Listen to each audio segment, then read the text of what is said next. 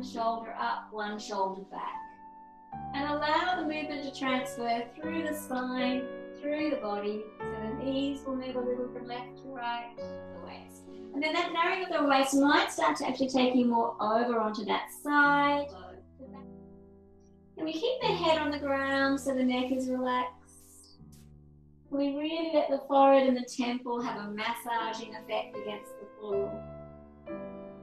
You might even start to feel that you could reach up a little with the chest and the head, roll back down to the other side, and the hands will lift you up again. And you're very much kind of ready to pounce, ready to go in this position. I've got my back toe tucked, ball of the foot on the floor. My core strength is alive, my eyes are open, so there's a lovely mix of lightness and groundedness. You know where the earth is, but we have a buoyancy in our body. We've been rolling from side to side. Hand can touch the floor, both knees bent, back toe can be tucked under, and you're ready to pounce. The elbow drops, roll to the other side, find your hands, chest broad and open, ready to pounce roll and lift. And then, because you've got these bent knees happening, you can actually just lift straight up to Bharadvajasana, where both knees are bent. The sole of this foot is placed nicely against the top of the thigh of the other leg. Bharadvajasana is a beautiful feminine twist, where we gently look over the back shoulder like this. And then you might take forearm to the floor again, palm facing up, Find the shoulder on the floor, find the ribs and the back on the floor. Palm is facing up again, and then into this pose. And then you can come to Bharadvajasana on the other side. So the trick really is to just keep those knees bent when you roll and a real sense of the legs being really connected, even from the soles of the feet, connected into the body. So you're a lot like that happy baby that we often do in yoga a happy baby pose. A happy baby has very light legs and feet because they're really connecting in in a juicy way into the pelvis.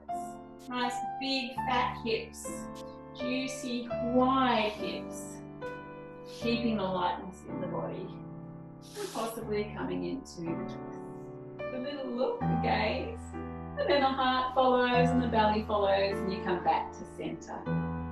Whichever foot is behind next to your um, hip, we actually twist the other way. That's there.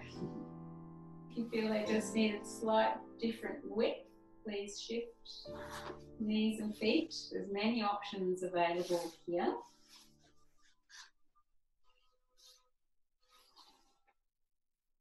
Narrow or wide knees.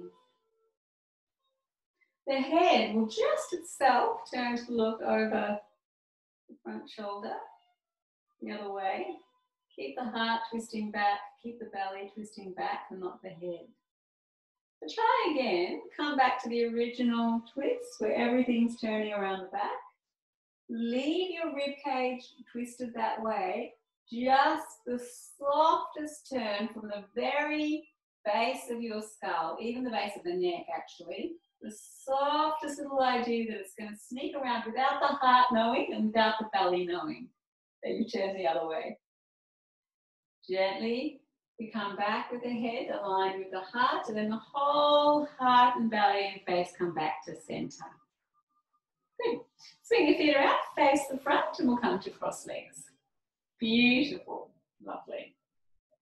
Hands on the knees, and we'll just circle through, which is lovely. Let's go the other way with our circles. Inhale as you go back, but exhale as you come forward and squeeze navel to spine. In breath, out breath.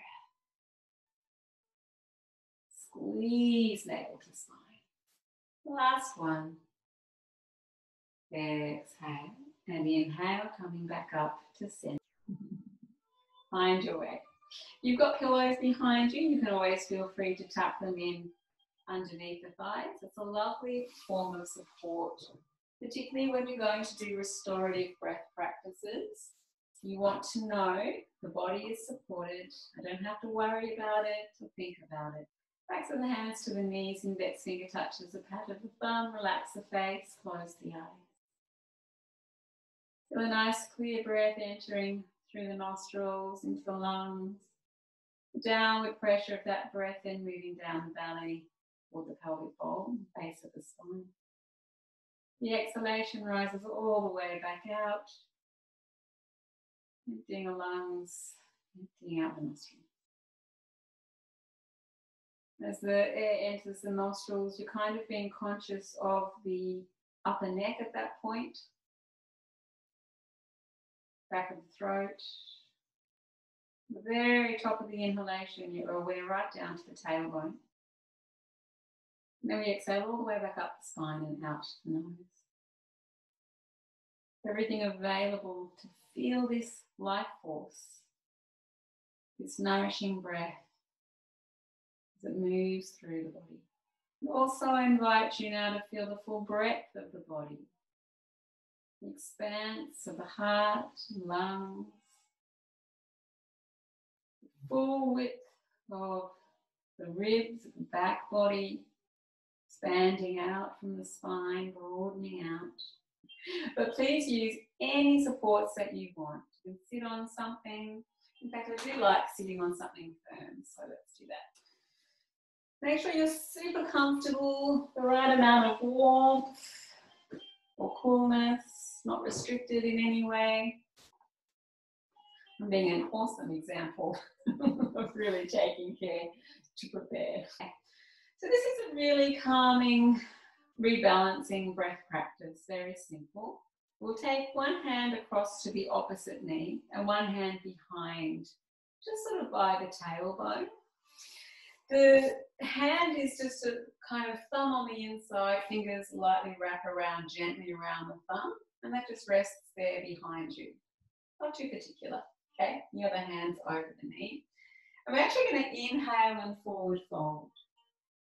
We come up, holding that inhalation into the body, lift the chin, the lips purse to create a tiny little circle. We blow the breath all the way out. We look forward. The arms will swing as they change. Other hand behind. Cross. Inhale. Rise up, holding that breath in. Lift the chin and exhale. Blow. Take your time. You're sipping, sipping or drinking in the goodness. And all the way out across the universe be as timeless as possible. So this is not linear. We don't want to get to the end of the movement or the breath. We want to sit our awareness right in the middle of the experience. We'll do one more to each side, fully absorbed in the practice.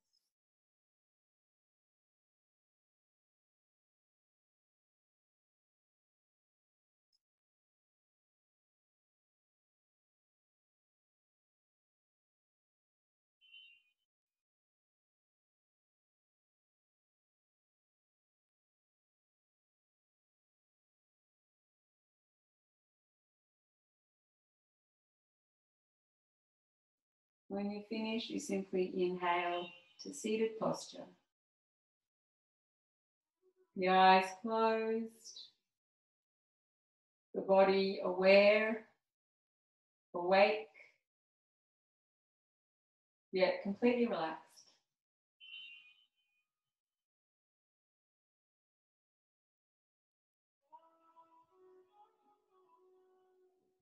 And simply be.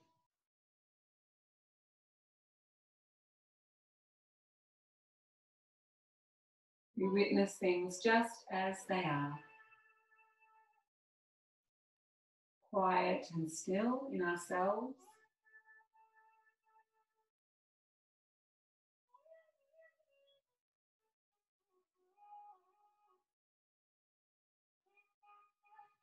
Witnessing any movement. Movement of life across the sensations the body and the mind.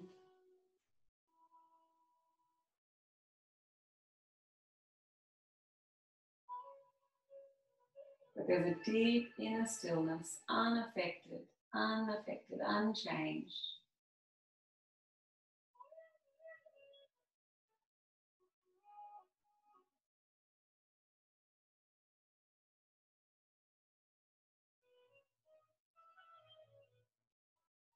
Two more breaths.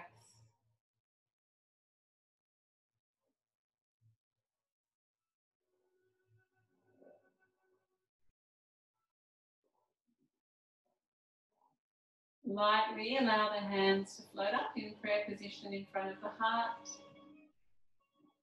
And the lightness continues through the forearms to elbows to shoulders. So the elbows are light and floating, armpits open and buoyant.